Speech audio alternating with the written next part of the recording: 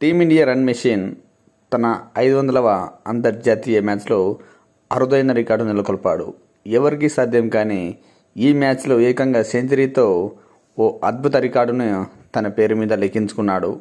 కోహ్లీ కంటే ముందు రాహుల్ ద్రావిడ్ ఎంఎస్ ధోని సచిన్ టెండూల్కర్లు సైతం ఐదు వందలు అంతర్జాతీయ మ్యాచ్లు ఆడినా కూడా వాళ్ళెవరూ సెంచరీలు చేయలేకపోయారు.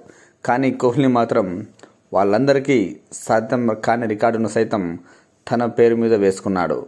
అంతేకాదు ఖలీస్ లారా రికార్డులను సైతం కోహ్లీ చెరిపేశాడు. చిరస్మరణీయమైన సెంచరీతో కోహ్లీ పలు రికార్డులు బద్దలు కొట్టాడు. వెస్టిండీస్పై అత్యధిక సెంచరీలు చేసిన దక్షిణాఫ్రికా ఆల్రౌండర్ జాక్ కలిస్ రికార్డును కూడా కోహ్లీ చెరిపేశాడు. ఇంతవరకు కలిస్ వెస్టిండీస్పై పన్నెండు సెంచరీలు చేస్తే ఇప్పుడు ఏకంగా విరాట్ కోహ్లీ పన్నెండు సెంచరీలతో ఆ రికార్డును కూడా బ్రేక్ చేశాడు. అంతేకాదు క్రికెట్లో నాలుగవ స్థానంలో ఎక్కువ సెంచరీలు బాదిన నాలుగో క్రికెటర్గా కూడా విరాట్ కోహ్లీ మరో రికార్డు నెలకొల్పాడు. గతంలో వెస్టిండీస్ దిగ్గజ కెప్టెన్ బ్రియాన్ లారా రికార్డును కూడా కోహ్లీ బద్దలు కొట్టడం విశేషం.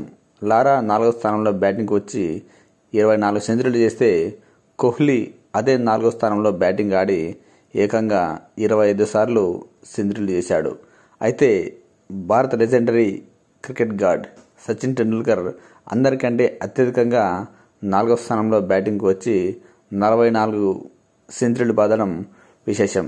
అలాగే సౌత్ ఆఫ్రికాకు చెందిన జాక్ కాలిస్ ముప్పై ఐదు సెంచరీలతో రెండో స్థానంలో శ్రీలంకకు చెందిన మహిళా జయవర్ధనే ముప్పై సెంచరీలతో మూడో స్థానంలో ఉన్నాడు.